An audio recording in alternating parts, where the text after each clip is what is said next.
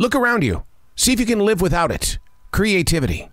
It is an addiction, whether we're taking it from other people or we're trying to steal it from ourselves. Unplugged because we will always say yes to creativity. Totally uncut because we all make mistakes. So turn it into a tool. This is Arroe Unplugged. Stream thinking. It's learning how to trust what's in your present, the right now. To get there requires a lot of practice. One sheet of paper every day. Just give yourself 10 minutes. Write about whatever is moving through your moment of right now. No judgment, though. Put that little monkey over there to the side. Stream thinking sharpens your skills as a listener, as a communicator, and as an activator.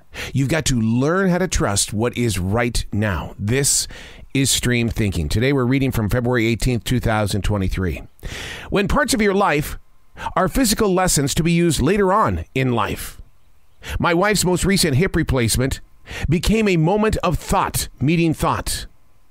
I share a lot of conversations with those that are in their senior years, you know, 45 to 60. I ask about the secret. The majority of them reply that life doesn't prepare anyone to be really good at health providing, which is why my eyes opened this week. This is one of those lessons, providing care in moments that I'd rather be doing something else setting aside my normal to be present in someone else's life. In that moment of now, she was in need. Not always wanting, because those receiving don't feel so comfortable when it comes to other people stepping into their lives. But it's a lesson to learn from, to pay attention to, to take note of. Something positive is always swarming around those little moments of negative.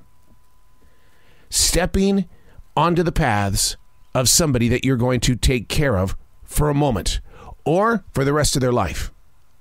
My sister Susan will always be remembered as a great caretaker. She took care of my father, my mother, and my brother Teddy.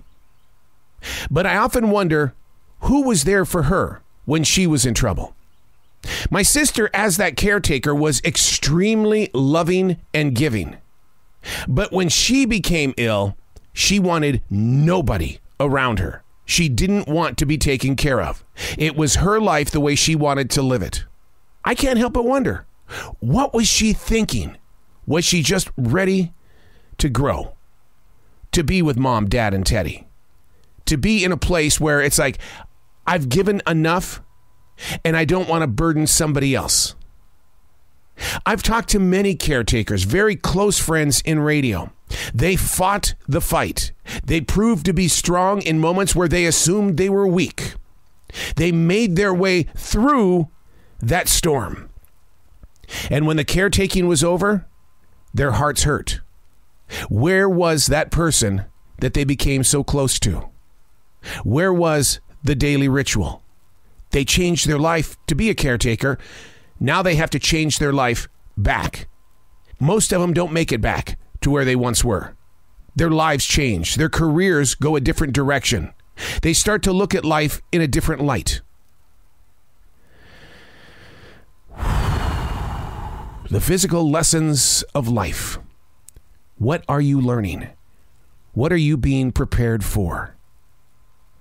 A simple hip replacement for my wife opened my eyes, creating thought for other thoughts to share a conversation with the seniors. I asked them, What is the secret? There is no secret. You just know when you're called to take care of. I'm Arroe, and that's Stream Thinking.